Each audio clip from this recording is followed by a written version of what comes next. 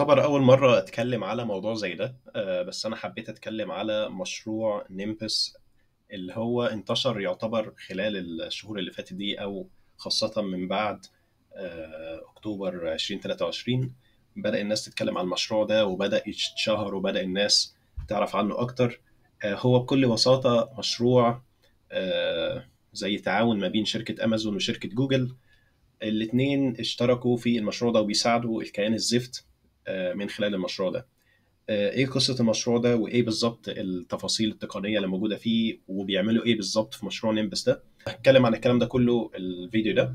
لما نيجي ندور على المشروع بتاع نيمبس ده آه، في جوجل أول حاجة هتلاقيها بتظهر لنا هي الصور بتاعة المظاهرات آه، الشباب اللي هم جزء منهم كان أصلا آه، ناس بتشتغل في جوجل أو يعني أتمنى يكون لسه مثلا ما اتفصلوش من الشغل. آه، حاجات زي مثلا مش عايزين نعمل تكنولوجيا للكيان الزفت. إحنا مش عايزين نشتغل للإبادة الجماعية. آه، هتلاقي في بعض الصور بت- بتوجه لفكرة إن ده آه، يعتبر مشروع تجسسي بيساعد الكيان الزفت إن هو يتجسس على آه، إخواتنا في فلسطين. آه، زيادة على كده هتلاقي في ناس كتير بقى بتتكلم زي مظاهرات آه، ناس تانية رافعة آه، شعارات بتقول آه، ال project ده و project نيمبس ده وقفوه. آه، لأن هو بيساعد إسرائيل بشكل أو بآخر آه، إن هم يحددوا مواقع الناس يستغلوا الناس. آه، ولكن الصورة اللي يمكن تكون آه، بت- بتقرب أكتر لإزاي ال project ده أو المشروع ده فعلا بيتطبق هو صورة العلامة اللي قدامكم دي. العلامة دي بتاعت آه، خدمة جوجل كلاود أو الخدمات السحابية بتاعت آه، شركة جوجل. يعني في كام حاجة مهمين جدا آه، بتخص المشروع ده. أول حاجة هي المبلغ اللي اتدفع للشركتين جوجل وأمازون عشان إن هم يشتغلوا على مشروع زي ده ده contract أو عقد كبير جدا آه، ضخم. يعني واحد واتنين من عشرة مليار دولار آه، العقد ده لشركة أمازون وشركة جوجل عشان يشتغلوا في مشروع نيمبس الرئيس بتاع شركة جوجل أو الرئيس التنفيذي بتاع شركة جوجل قال لك أي حد هيعترض على حاجة شبه كده هيخلي آه، طبعا هما بيطلعوا بشعارات كده وبيقول لك إحنا مش عايزين ندخل السياسة في الشغل بتاعنا إحنا بعيد عن السياسة والكلام ده. ولكن الموضوع مش بالبساطة دي ومش بالسهولة دي ومش مش هو مش شعار إحنا مش بن مش بندخل السياسة بالعكس. يعني ال- ال- الموضوع فيه يعني مجرد إنسان اللي هو أنا بشتغل على مشروع المشروع ده ال- ال- الكيان الفلاني بيستخدمه عشان يبيد الناس. فانت وانت بتشتغل كده تخ... إيه هي ال- ال- الحاجة اللي بتخليك تعرف تشتغل أو تكمل؟ يعني انت إيه الدافع؟ الفلوس الفلوس ما, فيش غيرها هي أكيد الفلوس. ما عندكش ما فيش اي إنسانية وهتخلي يعني هت... هت- هتخلي نفسك آه أنا أنا شغال على حاجة معينة ومش هاممني يكون في آه، تأثير على الحاجة اللي أنا شغال فيها دي. وده طبعا اللي مخلي الناس أو المهندسين اللي شغالين في جوجل على المشروع ده. يعني أنا مش بتكلم على الناس اللي شغالين في جوجل أو امازون وبيعملوا أي حاجة تانية. يمكن مثلا آه، حاجة صغيرة في المواقع بتاعت جوجل أو الخدمات بتاعت جوجل أو الخدمات بتاعت امازون ملهاش أي علاقة بالمشروع ده. لا ده الناس اللي شغالين في المشروع نفسه وعارفين إن هم شغالين في المشروع نفسه آه، معترضين أو جزء صغير منهم طبعا معترضين على الموضوع ده. والجزء الأكبر اللي ظهر آه، اعتراضه مثلا عن طريق إن هم آه، شاركوا في مظاهرات آه، امتنعوا عن الشغل آه، عملوا أي نوع من أنواع ال protest أو الاعتراض اتفصلوا من الشغل أو يعني فقدوا وظيفتهم. ده ال- ال reaction بتاع جوجل أو ده ال- ال- ال- الشركة مش باقي عليك. لو أنت طلعت كده وقلت أنا مش عاجبني إن أنا شغال في مشروع بيقتل الناس آه، الشركة هتقول لك هنجيب غيرك. يعني أنت replaceable هنجيب غيرك. يعني ما فيش ما فيش حاجة هتخليهم يوقفوا عقد بال- بالضخامة دي. مع الكيان الزفت. يعني بعض الحاجات اللي المشروع ده شغال عليها هي ال AI data analysis large scale data analysis ده محتاج يعني خدمات سحابية ضخمة. يعني انت عشان تخيل مثلا آه، الفيديوهات أو الكاميرات اللي موجوده في كل حتة في الأراضي الفلسطينية المحتلة. الكاميرات دي بتجيب كمية data ضخمة جدا عشان تحلل ال- كمية ال data الضخمة دي عشان مثلا تشوف وش معين انت عايز تحدد مكانه. من كمية ال data الضخمة جدا اللي بت- اللي بتدخل مش بقول لك كل يوم لا ده كل 10 دقائق مثلا تخيل تسجيل full HD من يعني آه، آلاف الكاميرات. عشان بقى تطلع وش معين من ضمن آلاف الكاميرات دي فلازم يحصل large scale data analysis أو يعني تحليل بيانات بشكل ضخم. عشان تعرف مثلا تحدد موقع شخص والشخص ده طبعا التكنولوجيا نفسها موجودة ومنتشرة تكنولوجيا اللي هي التعرف على الوجه أو ال facial recognition عن طريق ال AI عن طريق الذكاء الاصطناعي التكنولوجيا دي موجودة وموجودة بقى لها فترة طويلة جدا ولكن عشان تقدر تحقق الهدف بتاع الكيان الزفت إنك تحدد موقع حد عن طريق مثلا كاميرا معينة عن طريق ال data بتاعتهم من الواتساب مثلا كان انتشر فترة من فترة قريبة إن الواتساب كان بيساعد الكيان الزفت إن هو يحدد علاقة الناس ببعضها من المعلومات إنك في group واتساب مع مجموعة أشخاص تانية فبيربطك بالأشخاص التانية دي فالشركات بلا استثناء يعني أنا في في يعني ما أظنش إن في شركة من شركات التكنولوجيا الضخمة بلا استثناء مشاركة بشكل أو بآخر في الإبادة الجماعية.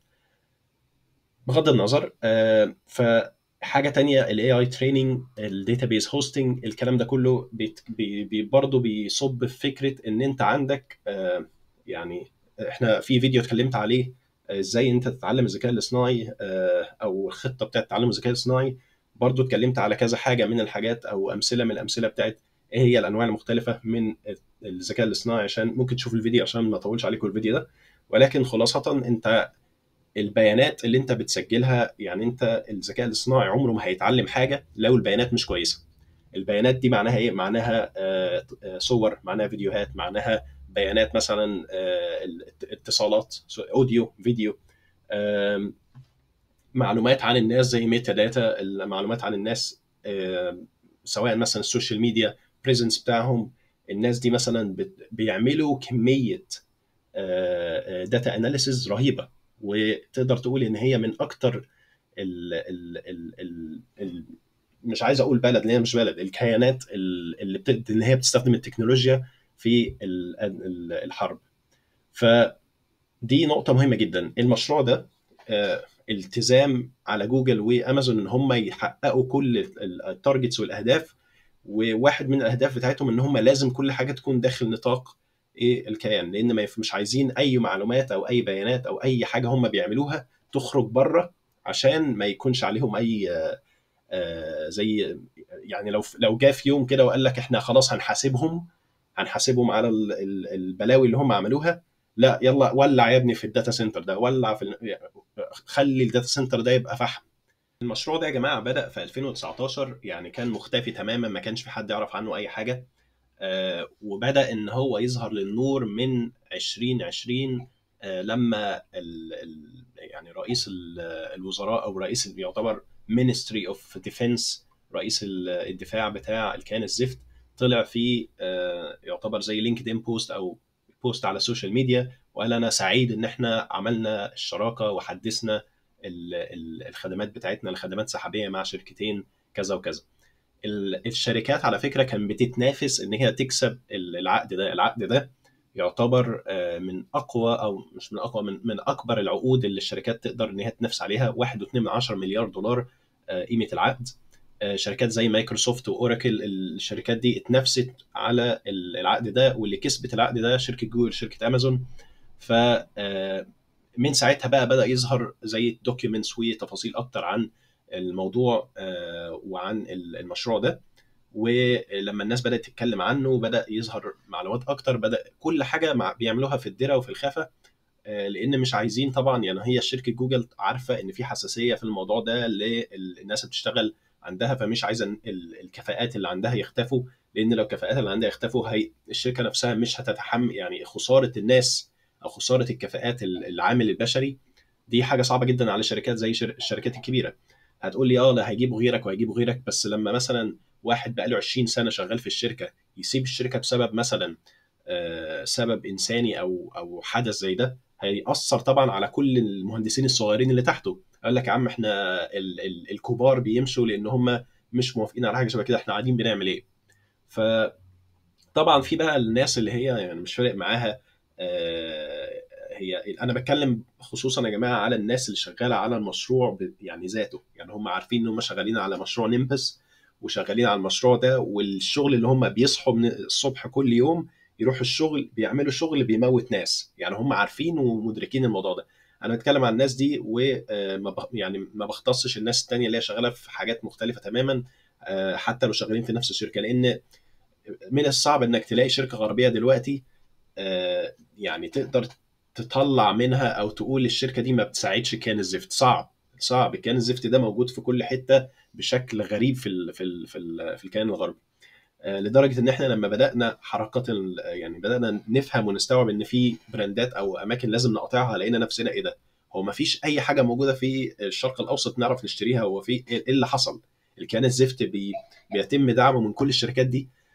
طبعا كلام كتير ما يعني مش مش هقعد أقوله هنا متعلق باللوبي الإسرائيلي والاشخاص اللي هم بيسخروا حياتهم ووقتهم وجهدهم إن هم يكونوا موضوع يعني يكونوا زي نوع من أنواع المجتمع اللي بيزق أي حد عشان يساعد الكيان الزفت فأرشح بصراحة تتفرجوا على فيديوهات المخبر الاقتصادي آه، بيتكلم كتير جدا على الفكرة بتاعة تأثير اللوبي بتاع الكيان الزفت على كل الدول يعني بلا استثناء على كل الدول. خاصة عشان أحس إن أنا طولت شوية في الفيديو ده آه، أنا بصراحة حسيت بتغيير آه، حصل بسبب الأحداث اللي فاتت واللي لسه شغال لحد دلوقتي ربنا يكون في عونهم. فكرة إن أنا أكون معتمد على كيان معين سواء يعني بالخصوص إن هو كيان غربي أو كيان آه، أنا عارف جوايا إن هو بيساعد آه، الكيان الزفت أو حتى لو مش بيساعد الكيان الزفت بيحاول إن هو بقدر الإمكان إن هو يخلي العرب أو يخلي الأمة الإسلامية ضعيفة. ده في حد ذاته حاجة أنا مش عايز أعملها أو آه، أفضل فيها. يعني أنا ما أقدرش أقول إن في وقت من الأوقات إحنا هنقدر إن إحنا نستغنى عنهم كلهم. ما ينفعش ما نقدرش ما نقدرش نتطور لو إحنا سيبناهم. ما نقدرش إن إحنا نوصل لمرحلة معينة إن إحنا نستقل عنهم من غير ما نبني على اللي هم وصلوا له لحد دلوقتي. فاللي أنا بقوله إن مجرد بس آه، تحديد هدف من جديد ممكن يكون بعضنا بيفكر أنا عايز أشتغل في الشركة الفلانية ومش وهي هدف حياتي والشركة دي هي كل حاجة ومن آه، غيرها هتديني الفلوس هتديني المكانة وهتديني التايتل وكل الكلام ده. بس لما لما أنا عدت تفكير في الموضوع ويمكن الموضوع اتغير بالنسبة لي بشكل كبير بسبب الأحداث اللي فاتت وقلت أنا عايز أوصل لمرحلة آه، حتى لو أنا همشي في الطريق اللي هو طبيعي أشتغل في شركة آه، أترقى أوصل للشركه اللي بعدها أوصل للشركة اللي بعدها يمكن حتى جوجل أو أمازون مش بقول إن أنا مش هشتغل في الشركات دي ولكن فكرة إن أنا أكون عارف أنا عايز أكون مستقل آه ال ال ال الشيء المفضل إن أنا أكون بخدم بشكل direct آه، المجتمع اللي أنا منه مجتمع العربي آه مجتمع المسلم الأمة الإسلامية أكون بخدم بشكل direct سواء عن طريق إن أنا اللي اتعلمته أشتغل في شركة بتدي ال output بتاعها أو النتيجة بتاعتها بتروح بشكل direct للمجتمع المسلم أو المجتمع العربي أو أكون إن أنا أعمل شركتي الخاصة اللي هي هتقدر إن هي تنمي وتعمل وتعمل وتعمل وتعمل وأسعى في الاتجاه ده. في تحديات هنا في تحديات هنا في تحديات هنا كل حاجة فيها تحديات. أنا بقول إن ما في يعني مش بقول إن خلاص هي الطريق وردي وسيب سيب يا ابني الشركات دي وروح اشتغل. لا خالص. أنا عايزك آه، بصراحة أنا مش عايزك تعمل أي حاجة. أنا بس بفضفض معاكم لأن الموضوع آه، يعني فاضل لي شوية وهنفجر بصراحة من كل اللي بيحصل ده. ويمكن آه، دي الحاجة الوحيدة اللي أعرف أتكلم فيها من وجهة نظري الشخصية. في حاجات كتير قوي بتفرج عليها وبشوفها مش مش عارف أتكلم عليها ولا أقولها. فحبيت أفضفض معاكم واعرفكم على الموضوع ده موضوع المشروع ده بالمرة. وبس يعني إن شاء الله هتكلم على حاجات مختلفة وعلى عادتنا لو في حاجة متعلقة بالذكاء الاصطناعي أو حاجة شبه كده هتكلم عليها أكتر وباستفاضة. ولو في حاجة معينة عايزين تعرفوها عن المشروع ده لكم مصادر في الديسكربشن أو الوصف بتاع الفيديو.